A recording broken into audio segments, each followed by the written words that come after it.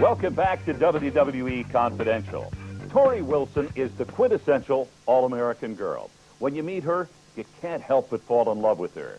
She's a small-town girl from McCall, Idaho, who always had big-time aspirations. Her childhood was typical in many ways.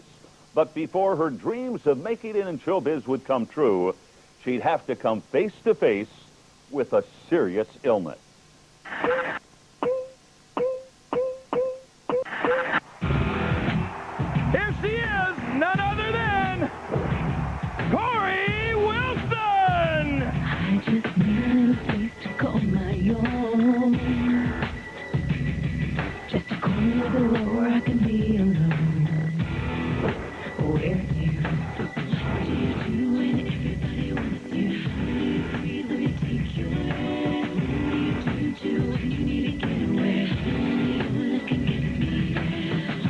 Me. You've got match.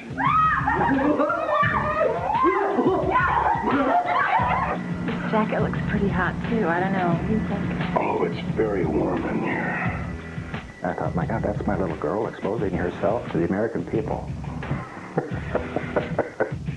Oh my God! Look what she's wearing. And and I had never seen pro wrestling before, and so it was it was uh, interesting. I remember when she came out with uh, Kevin Nash and, and Hogan.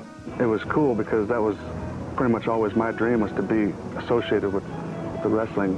I was excited, but I hope it, I was really hoping and wishing it would stay just like her, just like walking the people out, and I didn't really want to see her wrestling, just because I know that's what guys want to see is two girls wrestling together. So we're like, this is Torrie on TV, you know? I mean, it's kind of like, and see, that she was in some magazines before that, so we knew that she was going somewhere, and uh, so we kind of prepared us, uh, you know, like, you know, she's on her way up somewhere.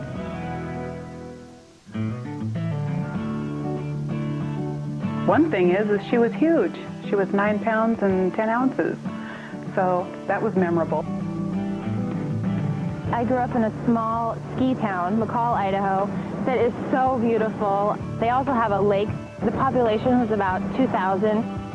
She was just really easygoing. The brothers hauled her around like she was their baby. You know, the swirly when you put someone's head in the toilet and flush it. Well, we did that to Torrie to see if it would work because she had long hair, to see if it was really going to swirl.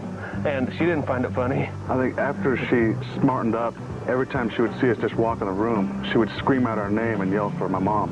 You know, Tim, don't stop, don't, owie, owie, owie. Yeah, they. We wouldn't even touch her. I've always been very girly, not much of a tomboy at all. She had signed up for judo in, in high school. I think she was probably about 14. And all of a sudden, her opponent had her down getting ready for a pin. And before she got pinned, she had to look up the audience and she'd get thrown to the mat in judo and be fixing her hair, you know, so. Be smiling for the cameras. Pretty or- princessy. When she was small, she loved her goats. Especially when they were little babies, she'd parade them up and down the street. I just remember loving when they were babies, they would suck on your thumb like you were their mom, so I would always go up and give them my thumb and let them suck on. We are at My Father's Place. It is a fast food restaurant in McCall, Idaho, and this was where I had my first job. I worked two summers here. It was like the cool hangout. Double cheeseburger? Is that yours? You have the same thing? I'm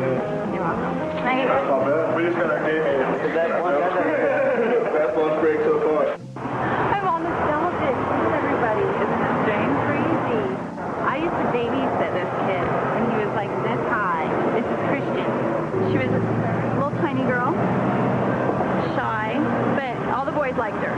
You need to sign a shirt for my boyfriend. You have to.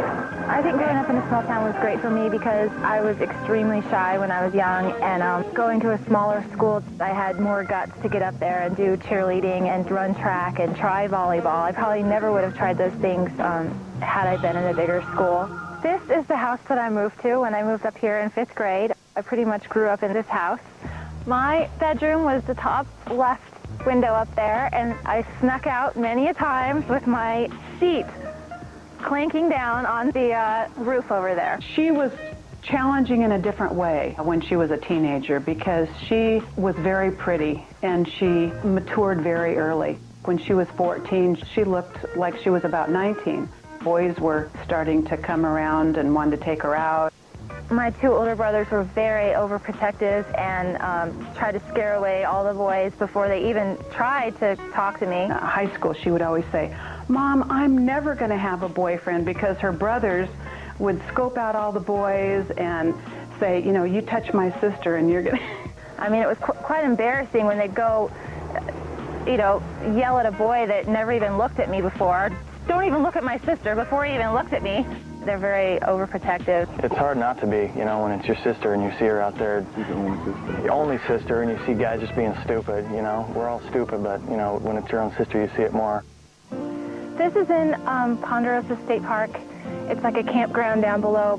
I used to ride my mountain bike up here and, and think and look at the water. And when I wanted a really good workout, I'd run up here. It's a very steep climb. And I just love this spot. I, I used to come up here a lot and just think about what I wanted to do with my life and all that good stuff. When I was about 14, you know, of course, modeling, I think all girls at age 14 want to get into modeling because it seems so exciting and everything. And that's about the, the time that I went down to the big city of Boise and, and tried my hand at modeling with the only agency in Idaho. It wasn't something that I've I was real crazy about. She had expressed getting into modeling at a, an early age. We en- encouraged her. We were somewhat resistant because of what it instilled. At that time, you had to be uh, very thin, and uh, you know, and, and it was something that uh, we ultimately had some concerns about. She was very uh, focused on on a, a modeling career. Coming from a small little town, going you know to Boise to the modeling agency, it's like so exciting. It's it's like I'm going to LA or something, you know. And when the lady sat behind her desk with her big fake lashes on, you know, could you lose a few pounds? That's what she told me. Could you please lose a few pounds? And, and um, that's that's when my roller coaster with my eating disorder started. She asked me to lose a few pounds, five pounds, and I lost 10. Her eating disorder lasted probably from about 15 to about 19, I'd say. Tune in next week for the conclusion of Torrie Wilson's story. There was one point when I was in the hospital for a couple days because of dehydration from taking um, diuretics and, you know, trying to make myself throw up and, and working out like crazy every day.